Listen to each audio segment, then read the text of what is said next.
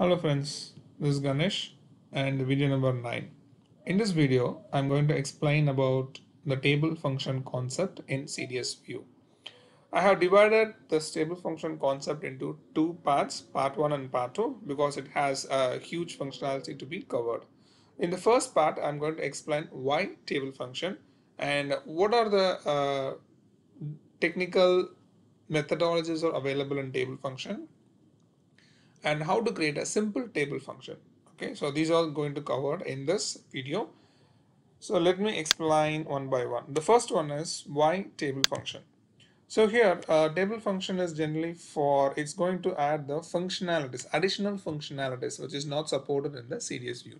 CDS view is not able to support most of the uh, SQL place or SQL area. So for that we need an additional functionalities. For example, I want to display the current date. I want to uh, calculate the date from the current date. Like like I want to previous 10 days I want. I want after 10 days from the current date. So I want to perform some SQL uh, calculations with the help of SQL functions. So that is not able to or that is not able to support by CDS. In that scenario, we need a table function. So mostly if you go with any complex scenarios to be achieved in the CDS, we just going to touch with the table function only. It's a simple CDS, just join between two views or two uh, tables, then normal CDS is fine. But if it is going to be a little more complex, you want to achieve everything uh, in your CDS itself. My meaning, you don't want to um, uh, do the application manipulation, like after taking the data, do a loop and everything. I don't know do it with the help of application layer or with the help of ABAP programming. So in that scenario, we need to go with table function. Okay, so mostly we are going to write all the kind of SQL statements for our business requirement and I'm going to write the SQL script functions and methodologies with the help of table functions. So table function is nothing but is a place where you can write a SQL means next level of or additional codings to fulfill your business requirement. That is nothing but a table function. So it's very simple. Okay. So next, uh, table function design, how the table function designs. Like uh, table function has a input parameters. You can create a table function with input parameters, depends on your requirement. So it, it is actually optional. If you want, you can have an input parameter. Otherwise, you can create a table function without input parameter as well. And if you create a table function, it needs to return some values. So you, you have a table function and uh, for example, uh, the production order. So some values to be returned okay to the table function return to the table function. So how we can achieve the uh, return parameters to the table function we'll see a little later. And uh, the return parameters can have multiple records can accommodate multiple records. It's not only one record or few values it can accommodate multiple records. So very technically i can say internal table kind of internal table. So more than one record also you are able to pass in the return parameters. And you, uh, you need a class and methods to define custom class and methods to define the table function functionalities. So in that the class should be public and the method should be static. This is mandatory otherwise you will get a uh, very proper syntax error. So for this you have to define a static method. This should be a public class only. Okay.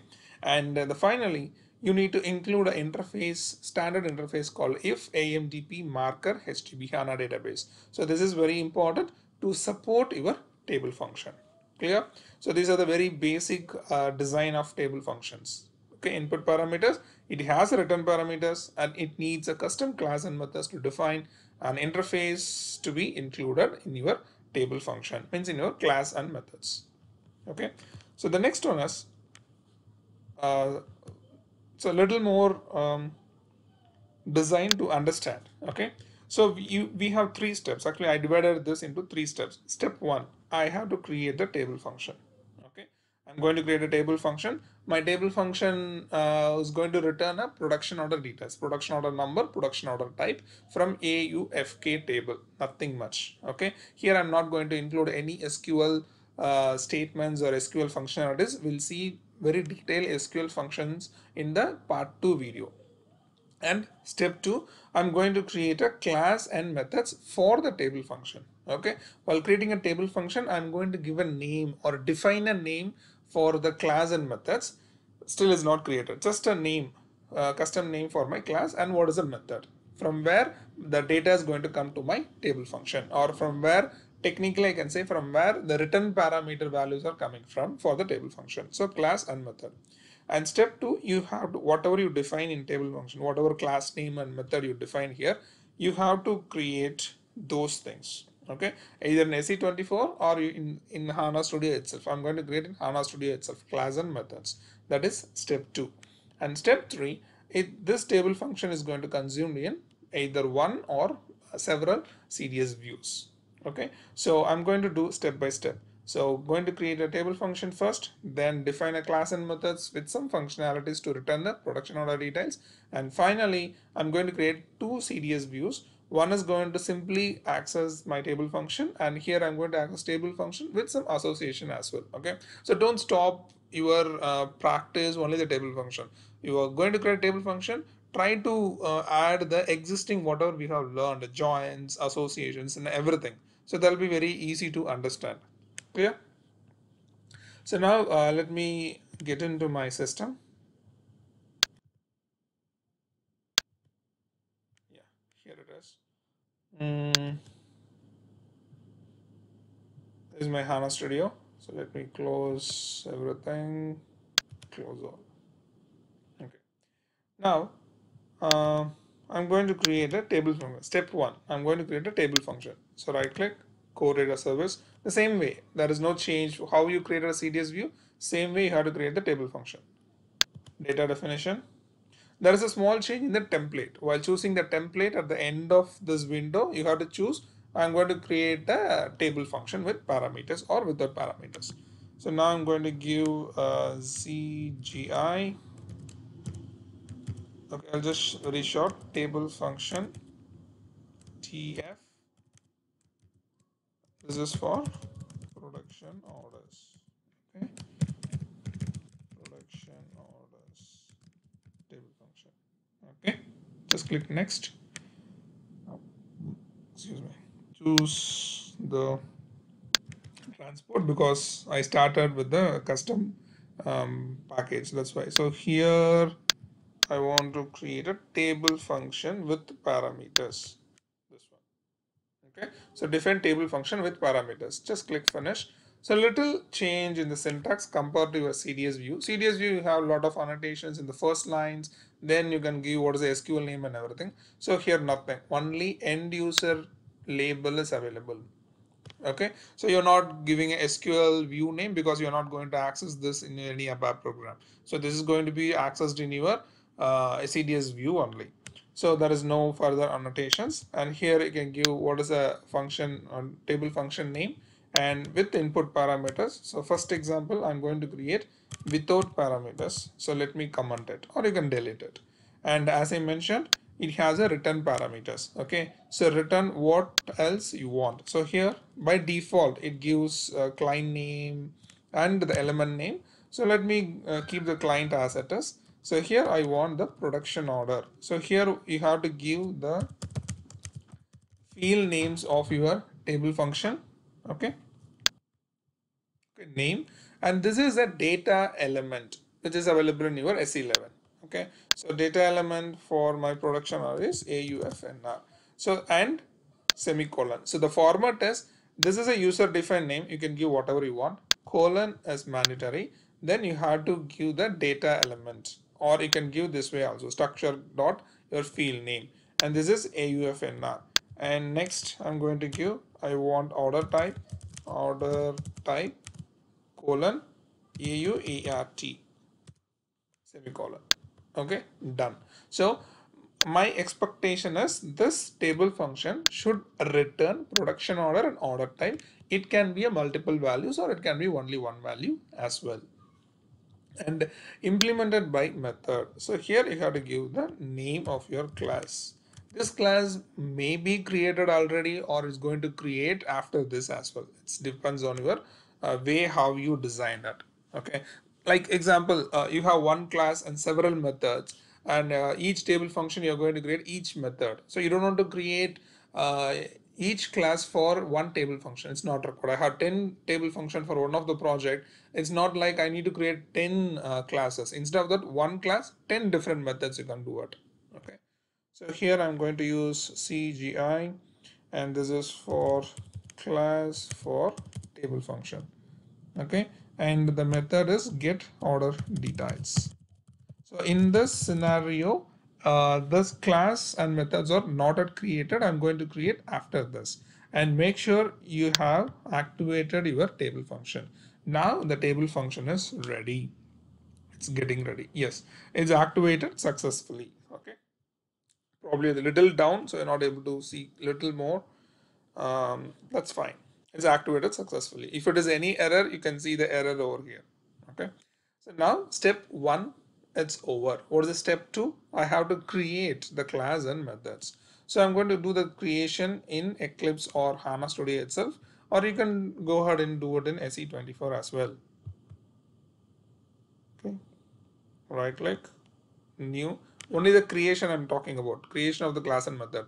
But most of the SQLs are supported in HANA Studio or Eclipse only. Just a creation yes you can do it. But inside the code better you have to do it in HANA Studio or Eclipse so here I'm going to do new ABAP class. Okay right click I'm right click on the package new ABAP class. Suppose I frequently used it may come. If not you can go in the other ABAP repository object and you can able to find ABAP class option. Just click ABAP class. What is the class name? So class name I had defined already. Just come down. Yeah here it is. So ZGI class and description class for table function. Next transport finish. It's take you to the another tab where it's able to create the class and methods okay? So here I mentioned very clearly the class should be public. So I don't want to the final and create public. I'm going with the minimum options. So I'll make sure my class is public. Yes it's public. And I have to create a method and method should be static method. So static sorry. It should be class methods. Class methods. And what is the method name? So method name over here is get order details. Uh -oh it's actually detached. Mm. okay. So yeah that also you can do it. If you have a big screen big monitor you can uh, keep in a two uh, different parallel sessions. It'll be easy. So here it's a little small one so I didn't use it. Like attach and detach you can do it. The particular tab. So class methods this is a method name. And you can give control space and this class or this method is going to create for a table function. So you have to mention very clearly this method is for a table function. So table function. And what is a table function name? So copy here. And keep it. So make sure table function is active. Otherwise well, active your uh, class you will get a syntax error so there are some errors. It's not implemented actually. Okay, so implementation missing for the method get order details. Let me implement it. So here method and get order details. So this method is not a normal method. So you need some additional parameters to be included. That's very simple. Uh, you don't want to uh, try to remember. Just give control space bar. You'll get only one option. This method is by database and for for what? For a function or procedure? Procedure will will see in the uh, following videos. Now currently we are in function. Okay so i'm going to create a function. This method is for function. So you have to say function for hana database language. Okay so what is the language i'm going to use it over here? Control spacebar sql script and come on. Okay sql script. And finally you have to use okay it's not coming for this version. It should be options. So whatever method you have to create it should be read only. Okay? And final one is using.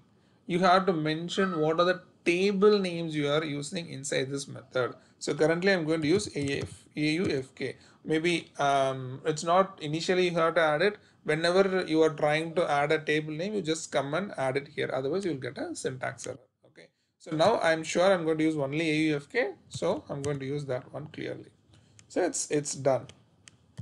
so end method okay so now almost we are close to the uh, creation of class and method for a table function and still there is some error it's empty okay so here database procedure MDB implementation marker as okay I missed it okay so it shows very clearly the interface I showed in the table uh, uh, PPT interface we have to add I missed it. So here you need to add it. Interface interface name if AMDP marker and HANA database HDB okay done. Okay so now it shows it should not be empty. So body of the database procedure cannot be empty okay? Maybe the syntax is same but we are creating a function. We are not creating a procedure over here. So now I need to fill it. So what I'm going to do is I'm going to get select AU okay I need three fields right? So make sure how many fields. How many fields your table function has? Three fields. So it should return. Your class and method should return three fields. Otherwise you'll get a uh, syntax error. It's saying type mismatch parameter type mismatch I believe. I'll show you the error message as well so AU okay I want MANDT MANDT AUFNR AUART from AUFK so this might okay this is a semicolon. This might be the um, syntax what I had to do AUFNR okay. So still it shows showing that uh, return statement should be defined for table function. Like it's saying uh, syntax error. So return statement should be defined. What I mentioned table function need a return statement. Okay. So it's very simple. Just write a return. Yes, I want to return this.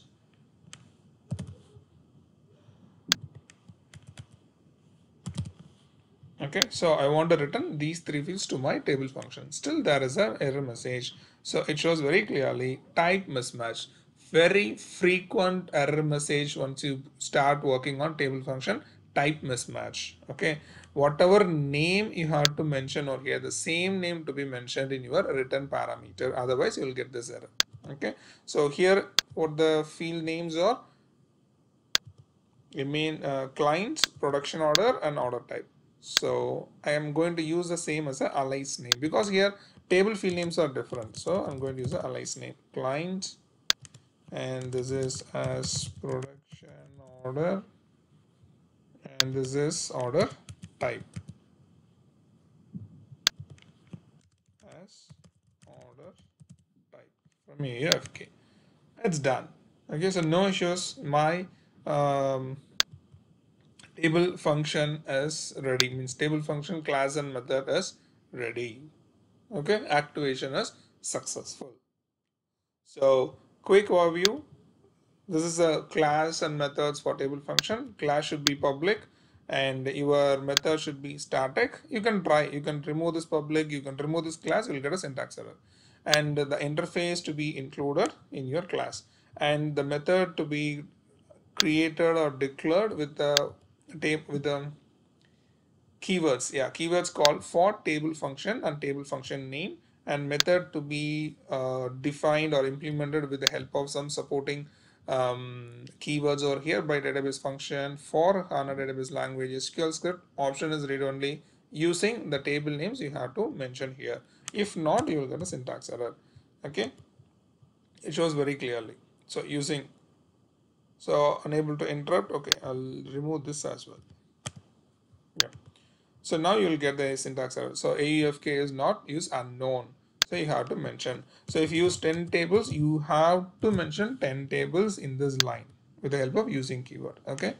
So um, we'll see the same thing maybe probably the next video. Uh, now it's ready and you have to return it. So return should be there okay? You have to return some values to your table function and make sure the names are same. Whatever name you use you have to use the same name in your return parameter. Let me act order so done. This is a simple way of creating a class and method for a table function. Okay? Step two is over. Come to your table function and execute it. Execute your table function. I'm not creating a cds so far. Just a table function i'm executing it. It'll give the output of whatever is getting from the method. So it's giving production order. Normally client won't display over here. So production order and order type. Clear? So step one, step two is over. Now I'm going to create a CDS view. So two CDS views I'm going to create. One I'm going to just simply call the table function. Next I'm going to call the table function and I'm going to perform some inner join operation as well. So let me create a CDS. New data definition. ZGI call table function. Call table function. Next transport. Next. Then this is a normal CDS right? So I can choose the first one define view finish. So this SQL can be accessed in your ABAP dictionary or ABAP program. So call table function. And here you have to say define view view name as select from the data source is your table function name. So go here copy the table function and paste it.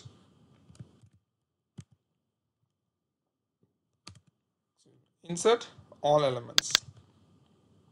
Only two. Done. So there is no change in your uh, output. Whatever you're saying as an output table function, same thing you're going to uh, see here as well. Just execute it. So same thing. So this is my CDS view output and this is my table function output. So it's quite normal. So normally we do some other uh, casting or some other options in a CDS views okay? Table function is take all the values almost 90% of the values from there and you have to do some manipulations uh, like adding a casting or you have to give some different names to your table we can do it in a CDS and next I'm going to create another CDS which is going to call my table function. I, as I mentioned, it can be called more than one CDS. So here ZGI call table function 2. Okay, call table function next transport next finish. So this is my another CDS, so CDS call TF2. Okay, but the table function name is same. So here paste it. Yeah probably same. Now what I'm going to do is I'm going to provide or I'm going to add uh, inner join okay with uh, AFKO okay. So where the production order should be same. So on condition on if you want you can use the alias name. So I can say alias this is orders and this could be not sure it could be operations we'll see okay probably yes. Afko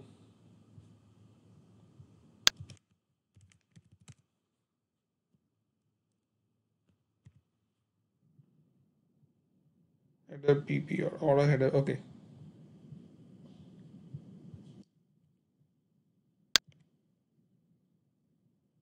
Okay, so because I'm going to take uh, the operation values over here, that's why I mentioned operations over here, that AUFPL. So uh, here the condition is order dot production order. So it comes over here is equal to operation dot auf AUFNR. Okay, so now I need order number. Okay, let me go with insert all elements.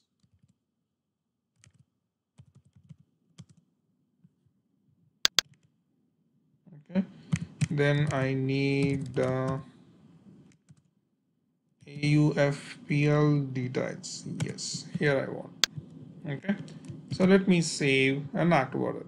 so this is not relevant to table function my intention is once you learn the new concept try to include whatever we have learned so far so that will be easy to understand you can able to find some difficulties or some syntax okay we can do this we can't do this. So don't try only table functions okay? Only particular concept. So now execute this. You will get some additional information over here apart from your table function. So that is AUF PL data. So order order type and AUFPL data okay? So hope you are able to understand about table function and how to create a simple table function and what are the uh, parameters or what are the informations available over here. So in the next I'm going to explain about um, table function with input parameter, how to use the input parameter inside your methods, and how to call a table function with parameter from the CDS views. Okay, so everything we'll see in the next uh, video, and along with that, I'm going to show you lot of SQL uh, functions, uh, scripting codes, internal table concepts, so many things in the next video about the table function. Thank you so much for your time. See you in the next video.